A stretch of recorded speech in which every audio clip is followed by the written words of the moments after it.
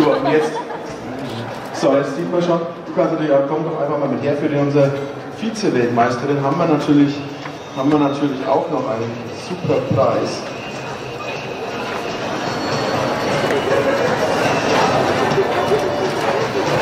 Und zwar, du hast ja vorhin die Mischpackung zum äh, Essen, zum Verspeisen, ganz, ganz spannend. Ähm, ich würde sagen, einen ganz, ganz großen Applaus von uns allen nochmal. Und ich denke, ja, wenn man, solch, wenn man so eine Jugendarbeit hat, ist man nicht mehr ran. Äh, wenn man so eine tolle Jugendarbeit hat, dann brauchen wir ähm, uns gar keine Gedanken machen, dass es die Healthy WM äh, irgendwann mehr gibt.